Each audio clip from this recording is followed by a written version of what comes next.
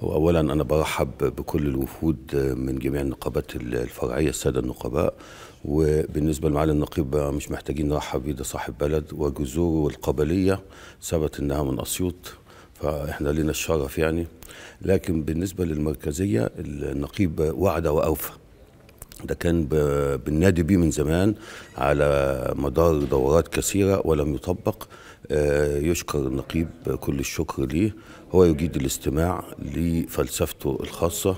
الحقيقة آه الحقيقة إن الصعيد اتظلم كتير بالذات وهو واخد لباله من الجزئية دي. كنا متحسبين إن هو مش واصلاه ففوجئنا لا عنده دراسة كاملة وواخد لباله. محافظات الصعيد بدءا من بني سويف حتى أسوان.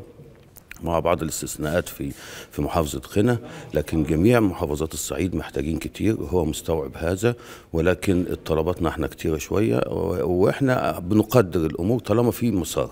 القاعدة العامة من المحامين وسائل الفيسبوك والناس المحايدة والناس اللي مش مجبهة بيقتنع وفاهم وبيقيم تقييم كويس. في ناس أخرى مش عايزة تعترف ده موضوع هيبقى مسؤول عنه بقى.